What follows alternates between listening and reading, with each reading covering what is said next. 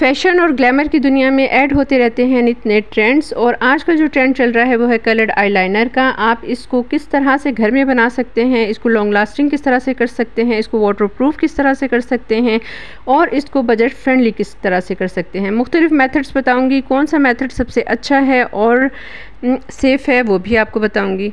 वालेकुम my YouTube family कैसे हैं आप सब लोग? होपफुली आप सब खैरियत से होंगे और ठीक ठाक होंगे साथ शेयर करूँगी मुख्तलिफ़ प्रोडक्ट्स जिसमें से जो भी चीज़ आपके पास अवेलेबल हो, आप उसको यूज़ करके अपनी पसंद के आईलाइनर बना सकते हो स्पेशली टीनेजर्स क्योंकि उनको बहुत ज़्यादा शौक होता है इस तरह के कलरफुल आईलाइनर्स लगाने का। तो जनाब, जो चीज़ सबसे ज़्यादा इफ़ेक्टिव होती है, उनके लिए वो होती है पॉकेट मनी क्योंकि वो इतने सारे कलर्स जो हैं वो बाय नहीं कर सकते एट अ टाइम तो जनाब बाय करने की भी ज़रूरत नहीं है पॉकेट मनी भी खर्च करने की ज़रूरत नहीं है।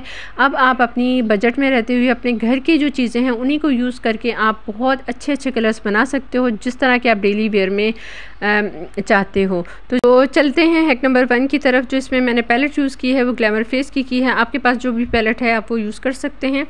तो जनाब, ये है सबसे पहले एक आई ड्रॉप ये ख़ास मेडिसन नहीं होती, बल्कि आई क्लीनर के तौर पे इसको यूज़ किया जाता है और ये बहुत ही माइल्ड सा होता है और आपकी आँखों के लिए भी बहुत ही सेफ़ होता है। अगर आ, आपके पास पॉसिबिलिटी हो तो आप इसको ले सकते हो। तकरीबन सेवेंटी रुपीज़ तक आता है। आप इसको लेके रख लो और फिर आप इसको यूज़ कर सकते हो डिफरेंट आई लाइनर बनाने में कलरफुल आई लाइनर बनाने में आपको ये बहुत ज़्यादा हेल्पफुल रहेगा। अब मैं अब हम इससे किस तरह से लाइनर बनाएँगे मैं आपको बताती हूँ। तो आपने इसका सिर्फ़ एक ड्रॉप लेना है। बिल्कुल छोटा सा चुनना सा ड्रॉप्स लेना है ठीक है? और इसके अंदर अब हम आईलाइनर कलर मिक्स करेंगे। तो ये आपकी आँखों के लिए काफ़ी सेफ़ रहेगा और ये बहुत ही सेफ़ मेथड है क्योंकि आइज़ जो हैं वो आपकी आई आपकी बॉडी का बहुत ही सेंसिटिव पार्ट होता है। तो जनाब, अब हमने सिर्फ़ एक ड्रॉप जो है वो लिया है, उसमें हमने ब्रश को गीला किया क्योंकि मेरे पास कलर थोड़ा बचा हुआ है, इसलिए मैंने हल्का से गीला करके कलर को पिक किया है। तो अब हम इससे बनाएँगे एक कलरफुल लाइनर तो आपने सबसे पहले ये देखना है कि आपको कौन सा लाइनर चाहिए, आपको मैट लाइनर चाहिए या आपको ग्लिटरी लाइनर चाहिए। अगर आपको मैट चाहिए तो अभी हम पहले मैट बना लेते हैं, उसके बाद ग्लिटर लाइनर किस तरह से बनाना है हम वो बताऊँगी आपको। ठीक है जी, अब हमने ये कलर पिक किया है, अब मैं इसको अप्लाई करके दिखाती हूँ। ये देखें किस कदर शार्प कलर बना है और किस तरह फ़ाइन क्वालिटी में बना है और आप इसको अप्लाई कर सकते हो। जिस तरह का भी आप ड्रेस वेयर करते हो, आप उससे मैचिंग का जो लाइनर है अप्लाई कर सकते हो। तो ये चीज़ होगी ही आपके लिए बहुत ही आसान। अब हम इसी से एक और ड्रॉप लेते हैं और मैं आपको एक और कलर बना के दिखाती हूँ। आपने थोड़ा सा इसमें से ड्रॉपर ड्रॉप जो है आई ड्रॉप जो है, वो आपने, अपने ब्रश पे लेना है और फिर हमने इसका कलर मैं आपको कौन सा कलर का बना के दिखाऊँ? अच्छा चलें ग्रीन बनाते हैं क्योंकि ब्लू और ग्रीन बहुत ही खूबसूरत कलर होते हैं तो अब मैं आपको बताती हूँ ग्रीन कलर का, क्योंकि ग्रीन कलर जो है बहुत ज़्यादा खूबसूरत भी लगता है। इससे जो छोटी आइज़ पे भी ये कलर लाइनर बहुत ही प्यारा लगता है। अब हमने आई ड्रॉप के अंदर एक ग्रीन कलर मिक्स किया है तो अगर आप कलर इसका अगर पिगमेंट अच्छा ना हो तो आप इसका पिगमेंट बढ़ाने के लिए आप इसको यूज़ कर सकते हो। तो देखो, ये देखें कलर कितना अच्छा आया है ग्रीन कलर। और अगर आप इससे भी डार्क पिगमेंट चाहते हो तो आप इसके अंदर थोड़ा सा ग्रीन कलर भी ऐड कर लो, ताकि ये ज़्यादा बूस्ट होकर आए और अच्छा सा बोल्ड इसका लुक आए। तो जनाब, इसके अलावा जनाब हमने बनाते हैं एक और कलर मैं आपको बना के दिखाती हूँ तो हमने लिया है इसमें पिंक कलर। तो पिंक कलर की शेड्स भी बहुत अच्छे लगते हैं और बहुत, स्पेशली गर्ल्स को ये चीज़ें बहुत ही प्यारी लगती हैं। सिर्फ़ अगर वो रेडी हो जाती हैं, सिर्फ़ हल्का सा ग्लॉस लगा लें और आइस पर ये कलर लाइनें लगा लें तो बहुत ही अच्छा लगता है।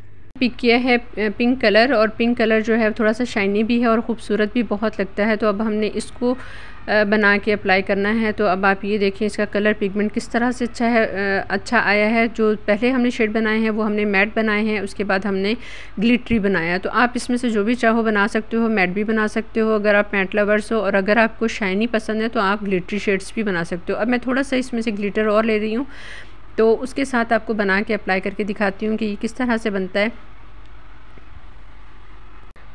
अब मैं आपको इसको अप्लाई करके भी दिखाती हूँ कि ये देखें किस कदर खूबसूरत और बोल्ड कलर बना है और ये लास्ट भी करता है। ऐसा नहीं है कि ये फ़ौर उतर जाएगा।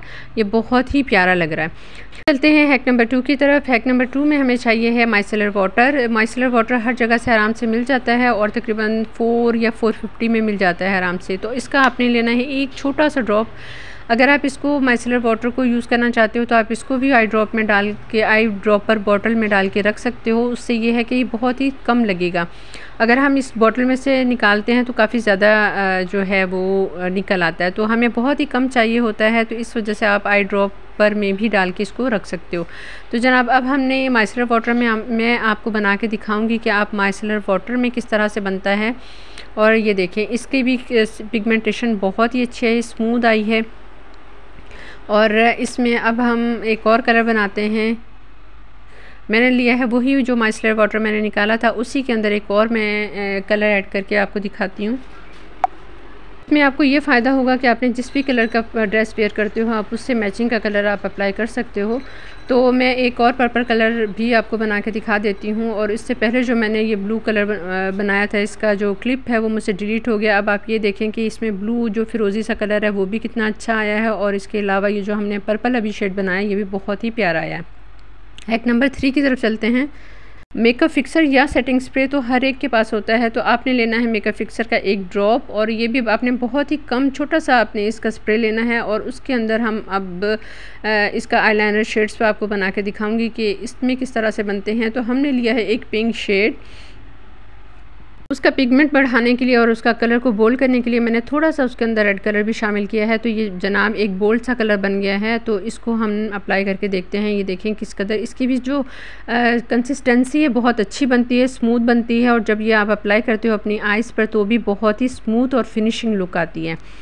तो ज़रूर ट्राई कीजिएगा इसको। अब चलते हैं हैक नंबर फोर की तरफ़। तो इसमें हमने लेना है ये एलोवेरा जेल एलोवेरा जेल का भी हमने बहुत ही छोटा सा टाइनी सा ड्रॉप लेना है। आपके पास कुछ भी मौजूद नहीं है तो आप एलोवेरा जेल के अंदर भी आईलाइनर बना सकते हो। और इसके लिए आपको छोटा सा टाइनी सा एक इसका ड्रॉप चाहिए। तो अब हम इसके अंदर मिक्स करके आपको दिखाती हूँ कि लॉन्ग लास्टिंग है या नहीं, इसमें बनाना चाहिए या नहीं बनाना चाहिए। तो हमारा कलर शेड जो है वो रेडी हो गया है। हमने इसमें पिक करते हैं येलो कलर येलो कलर को, क्योंकि येलो हमने अभी तक नहीं बनाया तो अभी हम येलो कलर ही पिक कर लेते हैं, ताकि हम इसका भी एक बहुत ही खूबसूरत सा, प्यारा सा शेड है। तो अब हमने ये लिया है और इसको अप्लाई करते हैं। तो जनाब, अब आप ये देखें, हम इसको भी अप्लाई करके देख लेते हैं कि हमारा इसमें येलो कलर जो है वो भी रेडी हो गया है। आप इसको भी अप्लाई कर सकते हो। एक छोटी सी रिक्वेस्ट है वो ये कि अगर आपको वीडियो अच्छी लग रही है तो वीडियो को लाइक कर दीजिए और चैनल पर नए हैं तो चैनल को सब्सक्राइब कर दीजिए और अगर ऑलरेडी सब्सक्राइब कर चुके हैं तो बहुत बहुत शुक्रिया।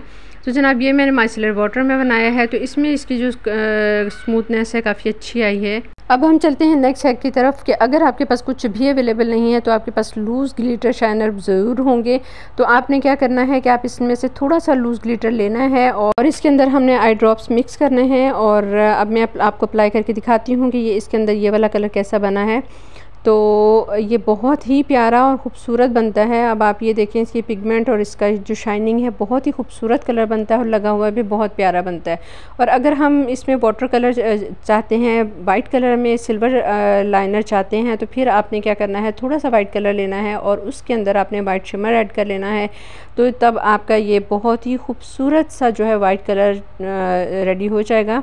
तो मैं इसको भी आपको अप्लाई करके दिखा देती हूँ। ये किस कदर खूबसूरत और सिल्वर कलर का अलाइनर जो है वो रेडी हो चुका है। अब आप ये देखें कि इसके पिगमेंट कितना खूबसूरत है और किस कदर ये प्यारे बने हैं।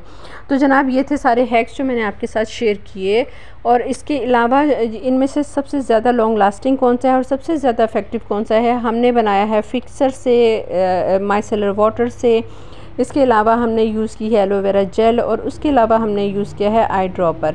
तो अब इसमें से आपको सबसे ज़्यादा कौन सा अच्छा लगा है? मेरी अगर राय लेंगे तो मुझे सबसे ज़्यादा जो अफेक्टिव लगता है वो आई ड्रॉप वाला लगता है, क्योंकि ये लॉन्ग लास्टिंग भी होता है और ये देखें, ये स्मच भी नहीं होता।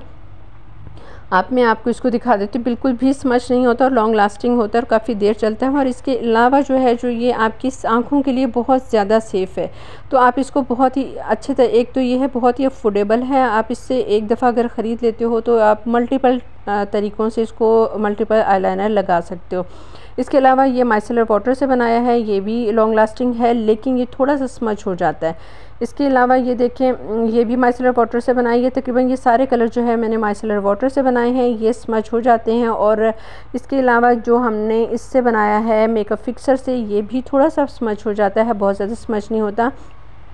अगर मैं इसको ग्रेडिंग दूँ तो आ, सबसे पहले जो है वो आई ड्रॉप आता है उसके बाद माइसेलर वाटर है उसके बाद है आ, स्प्रे और उसके बाद सबसे लास्ट में जो है एलोवेरा जेल है क्योंकि ऑयल एलोवेरा जेल के जो भी हम लगाते हैं इतना स्मूथ नहीं लगता और उसकी लास्टिंग भी इतनी अच्छी नहीं होती। तो होपफुली आपको आज का हैक्स अच्छे लगे होंगे। आपका पसंदीदा हैक कौन सा है ज़रूर शेयर कीजिएगा। दुआ में याद रखिएगा अपना बहुत सारा ख्याल रखिएगा। नेक्स्ट टाइम फिर मिलेंगे इन अल्लाह हाफि